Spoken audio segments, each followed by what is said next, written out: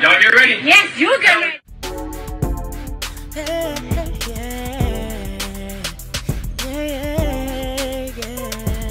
You want the latest news in the streets, join us and tune in for the tea. Breaking news with integrity. So tell your friends and your family. It's the Lovely Tea TV show. Bringing you good tea and good vibes. It's the Lovely Tea TV show. Be sure to share, like, and subscribe. Hey y'all, hope y'all are doing good. So I have been running around all day and I'm like super tired. It's been a long day. We've been just kind of rearranging stuff here in the house and you know, switching things up, switching things around. So anyhow, um, so as I was coming home, I got an alert that the diddler is once again trending and that it's getting even more serious, the case against him. So I wanted to jump on camera really quick and just quickly talk about it. So if y'all don't know, this is what's being reported. They're saying Diddy is facing possible indictments as federal agents are reportedly preparing to bring us to bring his sexual assault accusers before a grand jury. Okay, this is a big deal. Um, they're saying that CNN is reporting that possible witnesses have been notified by investigators and they could be brought in to testify in front of a federal grand jury in New York City. Additionally, CNN says the feds have obtained a video showing a male sex worker who claims he was victimized by Diddy inside a residence. The sex worker has been interviewed by the feds, but it's unclear if he will be put before the grand jury. TMZ has confirmed a grand jury has been convened in the case and evidence will be presented along with testimony from witnesses. So this is a big deal. You know, that means for a lot of these people saying, oh, they didn't find anything. They were just harassing him. You know, nothing ever came of the charges. Like I said from day one, the feds do not pounce until all T's and all I's are dotted. And obviously there was something there for a federal judge to issue a search warrant to not one but three of Diddy's home. They didn't go there to bring him a piece of cheesecake, okay, from Junior's, no pun intended. They went there to go find evidence of all the deviant stuff that he's been accused of, and it looks like they may have hit the jackpot. One, they were able to find the video of Cassie getting beat in the hotel room, and now they found a video of a sex worker. So I want you guys to go ahead and check out this news clip. We're going to go ahead and watch it together. What are you learning about the evidence that investigators could be reviewing here? So, as I mentioned, those federal raids that were conducted on his homes back in March, obviously, a lot of people wondering what was seized. Well, we are learning now that federal investigators are in possession of video footage that was taken inside of Combs's residence. We hear that these investigators have been contacting individuals that they have seen on this footage. One person, in addition to the accusers who have filed these civil suits, is a male sex worker. That is what a source tells me, and that they have been brought in for questioning through these federal investigators. Now, when the raids first happened, we had a law enforcement source tell us at CNN that the investigation was largely based in sex trafficking, which is what Uh, specializes in. Now we are hearing that that scope has been widened and that investigators are really looking into all of these claims put forth in these civil lawsuits. That would include not just sex trafficking, but also money laundering and illegal drugs. I have a source who tells me, quote, this is much bigger than just these lawsuits. All right, so y'all just heard her that they have expanded this investigation into P. Diddy, that this is bigger than just folks filing lawsuits on him to supposedly get money, okay? There was so much tea spilled in those lawsuits that they have to now look at it criminally.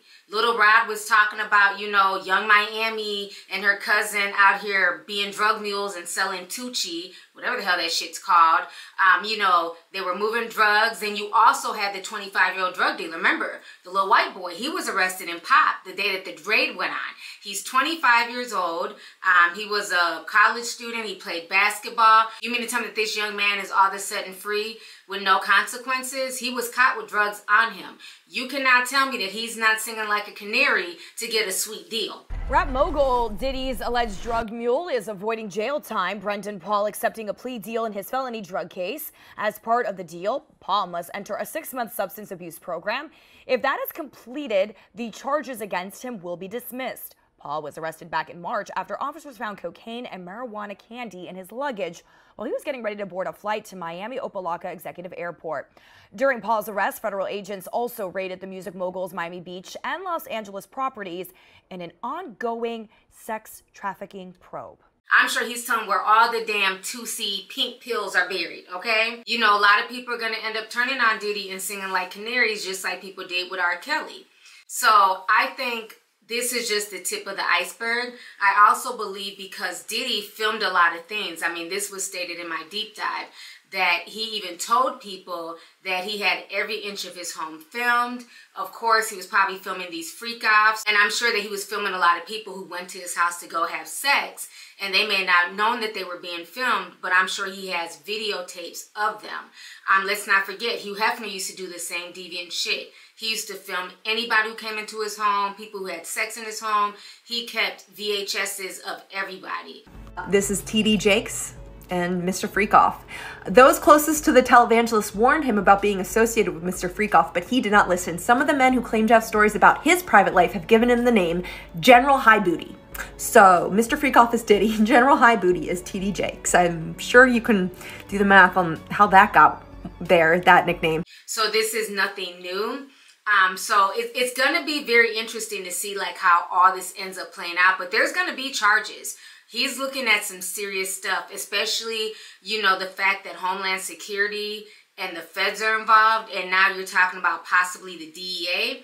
Because again, like I've been saying for years, a lot of these celebrities are not just making money off of regular normal brand deals and you know especially not off of music you know, for a long time, a lot of these celebrities have been low key moving weight, and they have the perfect alibi to do it because a lot of times they're on tour, they're going cross country, they're flying in private jets and things like that.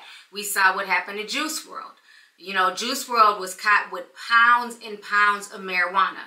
That was not for personal use. Him and his entourage were clearly selling the marijuana, and since his death, we haven't heard anything about those pounds of marijuana that were found you know, other rappers have been caught, you know, moving methamphetamines on their tour buses and things like that. So, again, I think the rabbit hole with this situation with Diddy goes deep. Now, let me say this about the male sex worker, okay? I believe what we're going to find out from this male sex worker that was victimized is we're going to find out what we, a lot of us already know, is that Diddy is a bisexual man. I'm going to say this I was told by somebody that the reason why in the lawsuit, Cassie basically talked about her in the freak offs with Diddy, the reason why they more or less framed it that he was mainly watching and they didn't go as deep as they could have went as far as his participation. Because if you want me to believe that he was sitting there just you know simply jerking off and watching some bbc ram his girl i have a bridge to sell you. He was clearly engaging he was having sexual activities with these men. But the reason why that wasn't put into the public lawsuit, a lot of that stuff was redacted because they did not want to make it about Diddy's sexuality. Because the first thing people would be saying is that, oh, she's outing him, you know, she's telling out his business. They didn't want to make his sexuality the highlight. They wanted it to be about the crimes that he committed against her. And even if you watch the bootleg TMZ Tubi Diddy documentary, they put one on Tubi. Aubrey O'Day said the same thing that the law doesn't care about your sexuality. They care about what you've done to harm other people. So I thought that was very interesting that she said that because I know that I was told that there was a lot more in that lawsuit and that they wanted all this stuff pertaining to his sexuality redacted and removed because they didn't want that to be the salacious part that went viral. They didn't want anybody focusing on his sexuality. They wanted people focusing on the real issue, which is the fact that he was sex trafficking and abusing this woman for years. So I think now that they found the male sex worker, oh, we're going to get some tea, okay? There's going to be all types of information coming out about what he did to that man sexually. And you're really going to find out, you know what I'm saying? The sexuality that he's been fighting and hiding all these years. I mean, anybody with eyes can tell that man swings whichever damn way. I remember when I saw this picture years ago, this told me everything I needed to know about Diddy, okay? What grown man sits there with some Speedos on with his legs gapped open like a female ready to take it up the damn wazoo? And then what's up with the mystery man in the background? Now that I look at it, that man low key looks like Stevie J, allegedly. You know, so if you didn't know that Diddy swung whichever which way, this picture should have answered all those questions for you way back then, okay? So it's going to be very interesting to see what this sex worker has to say, especially now that a grand jury is being convened and brought together to, you know, basically go over the evidence.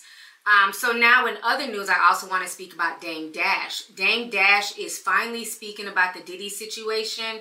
He's one of the few top guys in the industry who's been around, who came up with Diddy and Jay-Z and all them, who's speaking about the allegations and the fact that Diddy put hands on Cassie. So we're going to go ahead and listen to what Dame Dash had to say right now. I got daughters. Yeah. So, you know, if that were something I would see happening to my daughter, you know, Puff, he's dead. You know what I'm saying? And again, I go do the time or I try to figure out how not to have to go do the time, but I don't think I could handle watching another man or a man or any man touching or doing any kind of violence to. I got daughters. Yeah. Facts. And, you know, when I saw the apology, um, what I wondered is he has daughters. So I'm like, what if I were to ask him a question, it would be what would you do if you saw a dude do that to your daughters? What should that person's punishment be? Because that's what yours should be. Yeah. Now, where the, it's problematic in a big way, in the apology, because just logically, he had already denied all of that stuff. Mm-hmm. So he had already said that, you know, he venomly wasn't going to say that he ever did any of those things and it didn't happen. And now because it came out, um, he's saying sorry. But it's like now it's hard to believe anything else that he says, and it's hard not to believe anything that Cassie is accusing or alleging in the lawsuit. Facts. And, you know, when I saw the apology, because, you know, I think I wouldn't have, I couldn't fathom ever having that kind of aggression toward a woman. Mm-hmm. But I, I thought if, if he should have said sorry the next day before it came out, not because it came out, and then maybe it could have been looked at a little more genuine. Now, when I see a dude do that to a girl, I think that they must have got abused. And I mm-hmm. feel that there must be some real trauma that happened in his life. Because in order for that to be normal to him, to me, it means he must have seen that in his life as a young man or it was done to him. All right, so y'all just heard what Dame Dash had to say, and I agree with them. You know, it's it's it's true, and I'm glad that Dame Dash is speaking out and saying something because that's what I get tired of with some of these men. It's, you know, my daughter, my daughter, my mom, my mom. But then they have no problem abusing and mistreating somebody else's daughter, somebody else's mother, somebody else's sister, you know. And again, if this was to happen to Diddy's twins or Chance, he'd probably be out somewhere trying to blow up somebody's car. You know what I'm saying? Trying to put hands on them and do all types of deviant shit, you know, to get revenge on behalf of his daughters. But he had no problem doing the same thing to Cassie and others. So I'm, I'm glad that somebody around his age, somebody in the industry, is speaking out. You know, again, a lot of these guys in the industry have done and mistreated women. And I'm not just saying physical abuse and things like that, but you know, mental abuse, the cheating, you know, having kids on these women by other women. So a lot of them are just not stand up guys morally. But I'm glad somebody of status is saying something about Diddy. It's very interesting that Jay Z is very quiet. I don't think I honestly don't think Jay Z's going to say anything. I think he's just, you know, trying to back into a corner. He don't want no parts. He don't want his skeleton spilling out. You know what I'm saying? So yeah, Jay Z's been very, very quiet. I know everybody keeps saying, "What does Jay have to say about this?" Not a damn thing. He's about to keep minding the business that pays him. Okay. So again, this entire situation is going to be very interesting to see how this plays out. But I love to hear from you guys. Let's go ahead and get the discussion popping. How do y'all feel about this situation? How do you guys feel about the news that's coming out about the male sex worker getting ready to testify and basically tell the police and the feds what happened to him while he was around Diddy. And then how do you guys feel about what Dame Dash had to say as well? Do you guys agree with him that as a father, you'd want the same thing done if somebody, you know, did that to your daughter? Or do you feel like, you know, Dame Dash is in no moral position to judge? So let's go ahead and get the discussion popping. Make sure you guys hit the video with a like. Feel free to share the video, and I'll talk to y'all later. Deuces. If you want the latest news in the streets, join us and tune in for the tea. Breaking news with integrity. So tell your friends and your family. It's the Lovely Tea TV show. Bringing you good tea and good vibes. It's the Lovely Tea TV show.